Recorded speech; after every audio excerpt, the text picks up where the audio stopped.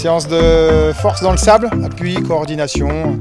Une bonne séance pour, euh, pour rythmer la semaine et, couper un peu euh, la routine des entraînements sur le terrain et faire découvrir un peu la mer, le sable aux nouveaux joueurs également.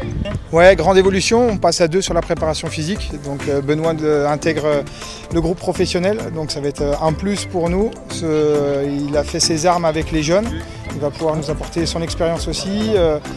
On va pouvoir mettre en place plus de contenu sur euh, les entraînements, plus de suivi également. Donc euh, voilà, c'est un plus pour, euh, pour le groupe pro et pour le club.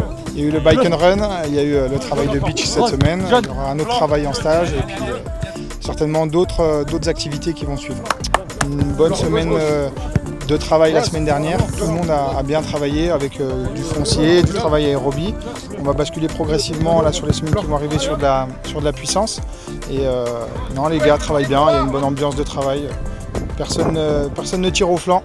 Tout le monde est là, tout le monde est présent et tout le monde est en forme. Il y a les recrues euh, au début, on a récupéré les internationaux, il manque plus que Jonas. Donc euh, euh, les conditions sont idéales pour, euh, pour bien débuter la saison. À nous de, de bien travailler, aux joueurs de, de bien travailler aussi de leur côté pour, pour débuter au mieux la saison contre 3. Année spéciale, préparation spéciale parce qu'on va se préparer pour, pour une première partie de championnat. Après il y aura une trêve un peu plus grande donc qui permettra de, de faire un point et de réajuster pour la deuxième partie de saison. Donc on va travailler pour. Premier match revue d'effectifs, tout le monde va jouer euh, 45 minutes. Certains vont jouer peut-être un petit peu moins aussi parce qu'on est nombreux à l'entraînement. Donc voilà. on va essayer de falloir partager un peu le temps de jeu pour tout le monde. Repos le dimanche matin, départ en stage dimanche après-midi et ben on commencera le travail lundi matin. On va doubler quasiment tous les jours en stage. Et on va progressivement, comme je disais, passer sur la puissance, des intermittents courts, un peu plus de travail tactique également de la part des coachs et basculer après sur la force. euh, sur la force.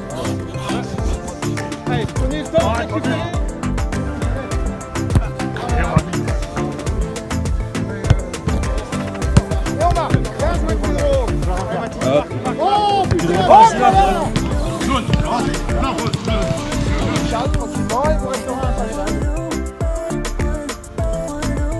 de haut, c'est juste flexion,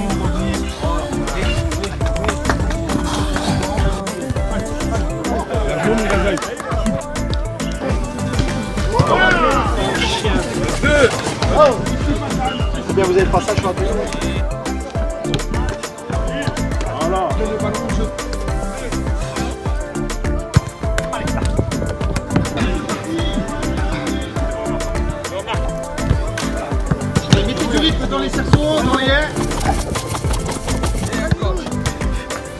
Allez, bien joué, pardon.